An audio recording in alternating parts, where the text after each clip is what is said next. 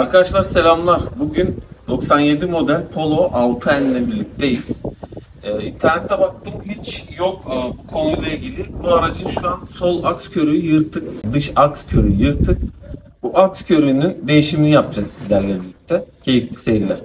Arkadaşlar şimdi burada aks körüğünde kritik nokta e, aks somununu sökmemiz lazım. Burada bize böyle uzun bir tane kol lazım veyahut da işte boru falan desteği de alabilirsiniz. Bu Polo 6M'lerin aks somunu bizim Honda Civic'lerde 32 milim. Bunda da şöyle 32 milim tuttu bakın arkadaşlar. Bu tip civatalar farklı bir ağızmış gibi gözüküyor ama normal şöyle 12 köşeli olan lokmalar tutabiliyor bunları. Bu şekilde taktık. Hafif boşluk var belki 31 ama yine bu tutuyor. Öyle söyleyeyim size. 32 ile ben bunu söktüm rahat bir şekilde. Gevşettim yani ben aslında az önce. Bu şekilde gevşetiyoruz önce. Sonra tekerleğimizi çıkartarak işe devam ediyoruz. Bijonlarımız 17 lokma tutuyor arkadaşlar.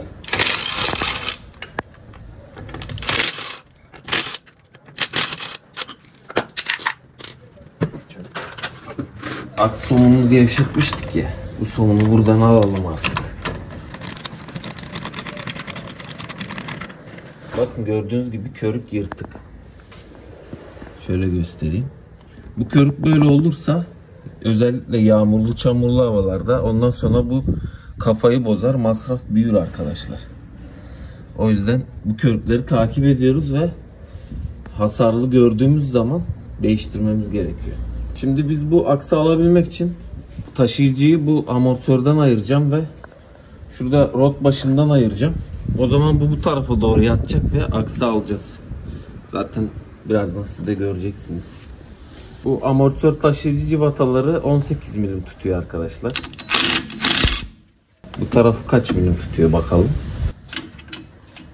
Evet bu tarafı da 18 tutuyor şöyle. Şöyle aldık. Aldık ya. Alttakini de sökelim.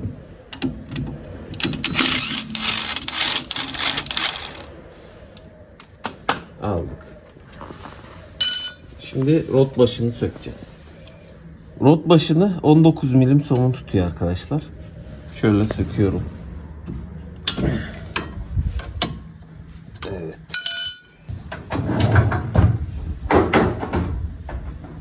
Tabanca hızlı olacağı için sizde tabanca yoksa mecbur şeyle sökeceğiniz de. Böyle somunu aldım. Bu somunları kaybetmiyoruz. Nasıl yapıyoruz? Burada benim tasım var. Bunları böyle koydum. Bunları böyle ayrı koyuyorum. Tamam. Şimdi rot başını yerinden alacağız şöyle ufak bir çekiçle. Şuraya şöyle tıklayıp titreşim verdiriyoruz. Yoksa şöyle yapacağız. Çok fazla şey yapmadan. Ya da çok fazla zarar gelsin istemiyorum. O yüzden böyle bir şey yapacağım.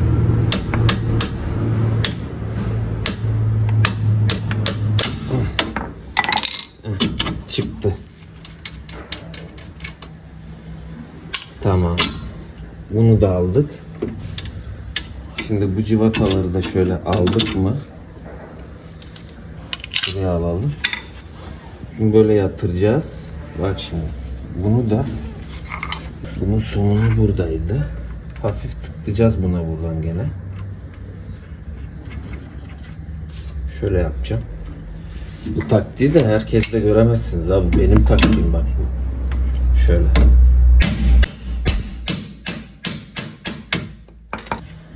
Bunu böyle parmağımızla iterekten bunu yatırıyoruz şöyle.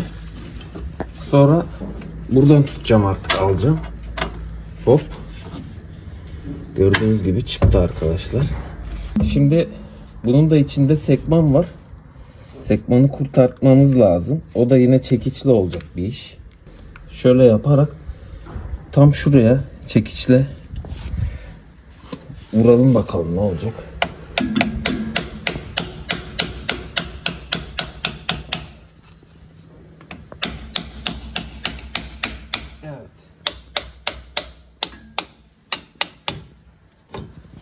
Gördüğünüz gibi çok kolay bir şekilde çıktı.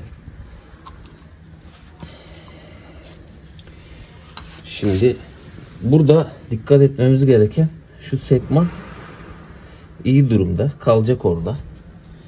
Ondan sonra şurada şöyle bir pul var. Bakın. Dış konik kısmı arkaya doğru bakıyor. Şöyle gelecek. Bunu unutmuyoruz. Tamam mı? Bunda da yine şekil var. Düz zannetmeyin. Bunun da yine şöyle iç iç konik kısmı bu tarafa gelecek yani. Şanzımana doğru bakacak. O da böyle bu şekilde. Yani şöyle şu ikisi şöyle duracak. Bunlar burada dursun şimdi. Bunu çıkartalım buradan. Zaten gitmiş. Sonra buraları temizliyoruz arkadaşlar. Bu işte bize en çok lazım olacak şey bez. Bezi aldım. İlk etapta kirli bir bez de olsa olur zaten. Şöyle siliyoruz. abi. Bak. Bezle silince ne kadar tertemiz oluyor. Buradan da eski körüğü çıkartayım ben. Şöyle pense kullanacağım.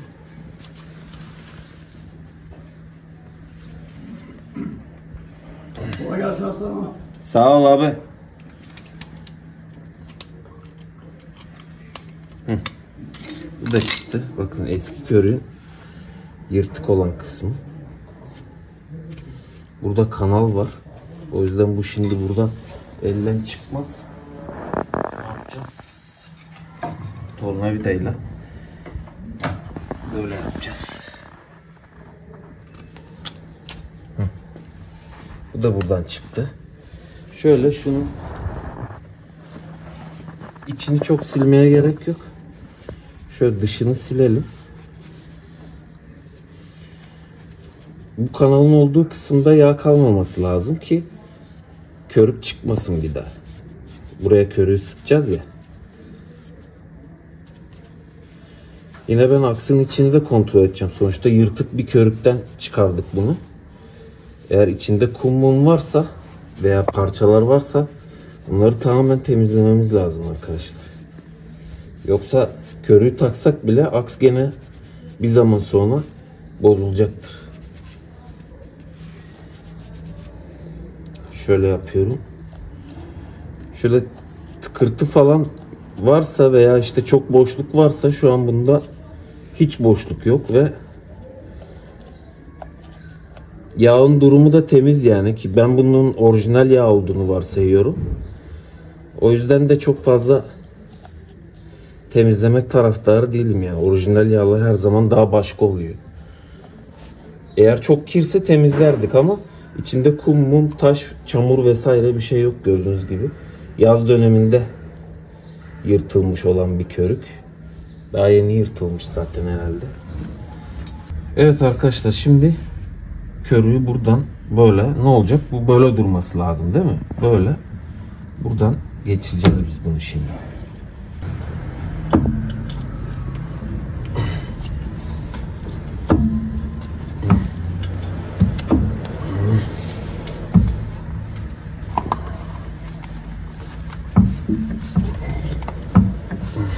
Şöyle bak. Nasıl taktığımı görüyorsunuz zaten. Bayağı bir arkaya götürelim de biz şimdi arsı takacağız ya. O yüzden bize engel olmasın. Arkadaşlar aksı takmadan önce şöyle içine yağı koyacağız. Aks körüyle beraber yağı da geliyor böyle bu şekilde. Ucundan şöyle yırtıyoruz. Böyle açılsın. Hop. Bak yağ nasıl geliyor buradan. Böyle yapacaksınız ve bunu buraya sokacaksınız sonra. İçeriye doğru bastıracaksınız. İpten aynı diş macunu sıkar gibi. Ama hepsini. Hatta şöyle mengeneye alalım. Gel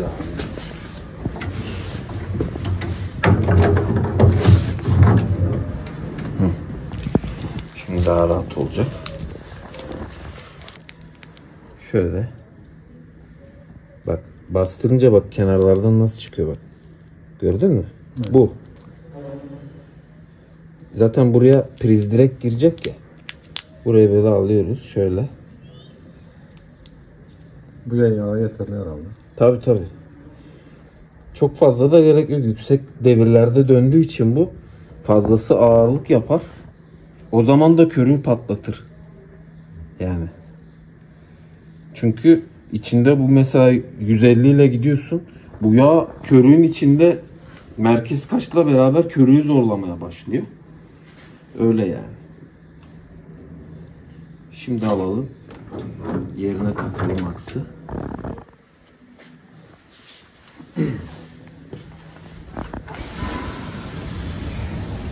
Bu böyle gelecekti.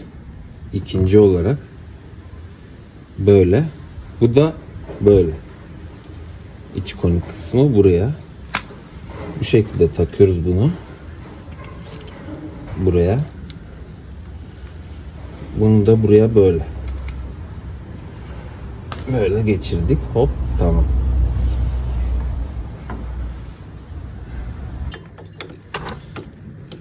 Şöyle çekiçle vuracağım şimdi. Bunu şöyle takayım.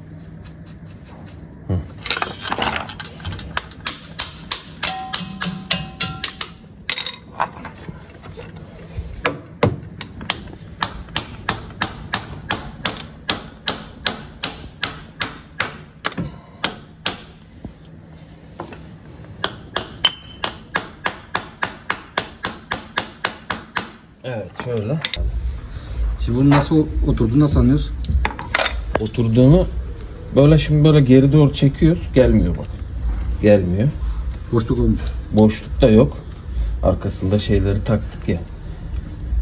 Tamam. Bu şekilde oldu. Şimdi aks körüğü yağ tamam. Temizlik işi tamam. Şimdi şöyle bir ufaktan elimizi temizliyoruz.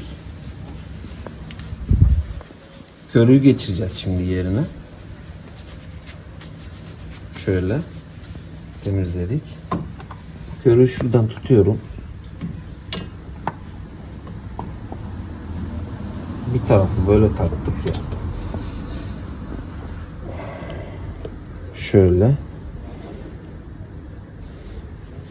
Burayı şöyle alalım. İster istemez hafiften yağ olacak. Hepten o kadar şeye gerek yok. Zaten şey var. Kanalı var ya. Kelepçe de takacağız. Olacak o. Şöyle.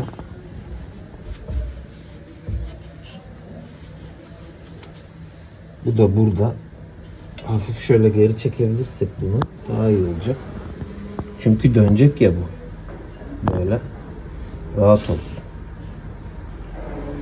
Aslında bunun yeri burada evet. Böyle. Biraz böyle içeride olacak arkadaşlar bu. Burada olacak tamam mı? Çünkü döneceği için körük tekrardan yırtılmasın yani boşluk olması lazım.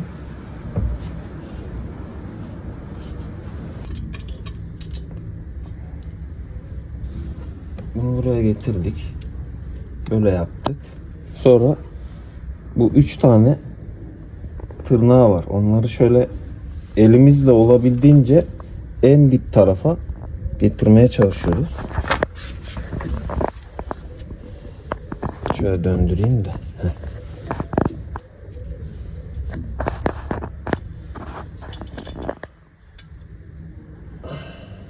Evet. Şimdi bu böyle tuttu ya. Ondan sonra bir tane kelpeten.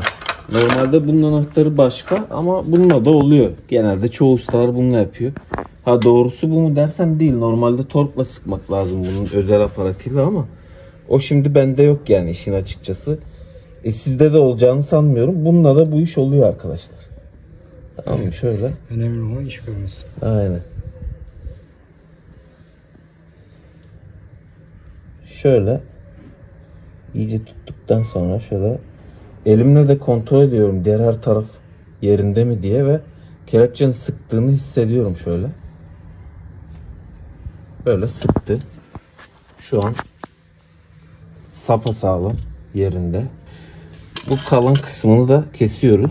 Çok fazla bırakmamamız lazım onu. Çünkü hızlı döndüğü için balans yapar.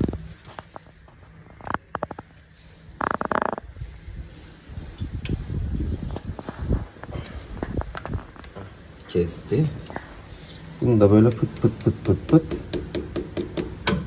yaptık. Bakın dümdüz oldu şimdi burası.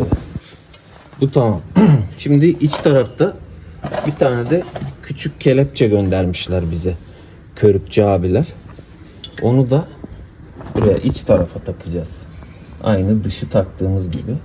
Evet şimdi kelepçe hazır. Şöyle kelpetenle yine bunu sıkıyoruz buradan böyle. Sımsıkı. Heh. Heh, şimdi dönmüyor. Evet şimdi güzel oldu. Düzgünce kesmemiz lazım. Evet. Böyle körlüyoruz. Şunu da takıyoruz şöyle. Evet. Böyle oldu. Şimdi tekrar yerine takıyorum bunları artık topluyorum. Ne yapıyorduk? Bunu böyle. Sonra burada priz direkt dediğimiz bir bağlantı şekli var. Bunun e, dişi olan kısmı da şurada şu taşıyıcının içinde göbekte var arkadaşlar. Onları şöyle bu çentikleri birbirine denk getirerek olmuyorsa hafiften çevirerek şöyle takıyoruz.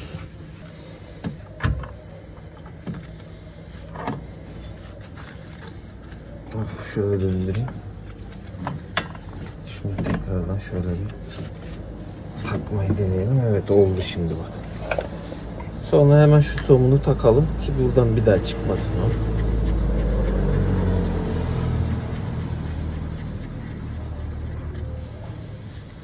Artık çıkamaz.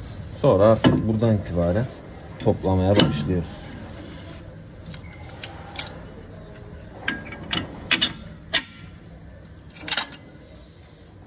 Bunu da böyle. Bu iki tanesi buraya.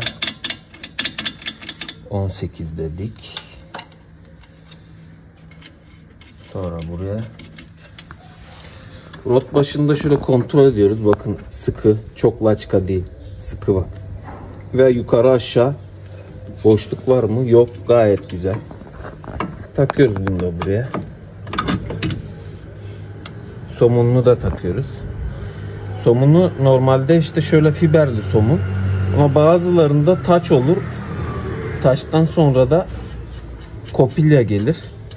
Ona dikkat edin taçlıysa kopilya takmanız lazım mutlaka ama böyle fiberliyse gerek yok.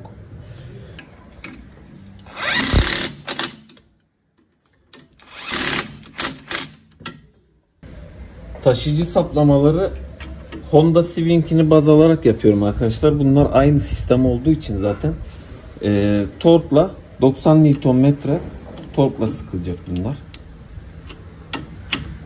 Şöyle 90 ayarlı tork kanatları. Evet bu şekilde tamam.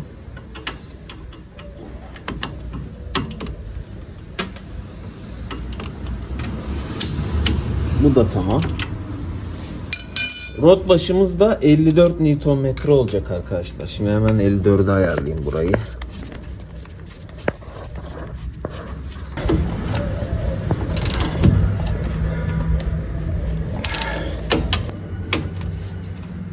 Evet. Dur.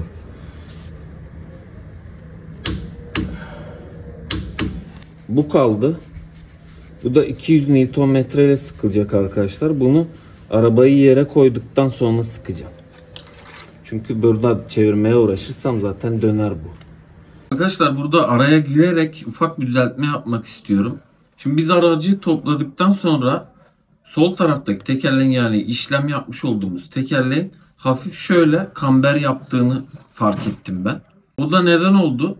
Amortisörle taşıyıcının bağlantılarını takarken sandığım kadarıyla orada kamber ayarı var. Yani civataları tuttururken o açıya göre tutturmamız lazım. Orada bir boşluk var arkadaşlar. Bizim Honda'larda yok öyle bir boşluk. Normal takıyorsun ayarına geliyor ama ben onu daha sonra öyle olduğunu fark ettikten sonra söktüm. Nereden olabilir diye akıl yürüttüğüm zaman bu durum ya rotilden olur. Rotilde boşluk varsa tekerlek kamber yapar arkadaşlar. Özellikle dışa doğru kamber yapar. Ben taktığımda dışa doğru kamberli rotili kontrol ettim. Sıkıntı yoktu. Sonra taşıyıcının amortisörle bağlantısını kontrol ettim. Şöyle civataları gevşettikten sonra diski tutup şöyle tutturup civataları sıktım ve görüntü olarak düzeldi. Ama şöyle bir şey yani emin olamıyorsanız bu işlemden sonra rot ayarına gitmenizde fayda olabilir arkadaşlar. Ha, belki de benim yaptığım arabayla ilgilidir bu sıkıntı. Çünkü daha önceden coil varmış arabada. Oraları oradaki delikleri genişlettiler mi ne yaptılarsa belki de öyle bir şey de yapmış olabilirler ama dediğim gibi bizim Honda'larda öyle bir ayar yok orada. Öyle bir boşluk yok. Direkt takıyorsun. Ama bu arabada böyle bir açı ayarı yapmak zorunda kaldım. Onu da belirtmeden geçmeyeyim dedim arkadaşlar. Kendisi yapacak arkadaşlar için bu durumu göz önünde bulundurmanız lazım. Onu da söylemek istedim. Evet arkadaşlar Polo 6N 1997 model. Bunun yırtılmış olan aks körüğünü değiştirmiş olduk. Aks kafasını da çıkardık. Aks kafasını mesela değiştirecekseniz nasıl değiştireceğinizi de görmüş oldunuz böylece. Ben e, araştırdığımda bununla ilgili Türkçe veya yabancı böyle detaylı bir video yoktu. Ben o yüzden çekmek istedim. Abi de sağ olsun yardımcı oldu. Eline sağlık. Videoyu çekti. Eline sağlık. Umarım faydalı olmuştur. Böyle videolarımın tabii ki devamı gelecek. Kendi garajımda hem kendi tecrübelerimi paylaşıyorum hem de yapılan işleri nasıl olduğunu size detaylı bir şekilde aktarıyorum arkadaşlar. Bu şekilde kanalımın konsepti var. Yeni gelen arkadaşlar için söylüyorum bunu. Abone olmayı ve videoyu beğenmeyi unutmayın. Kendinize iyi bakın. Tekrar görüşmek üzere. Hoşçakalın.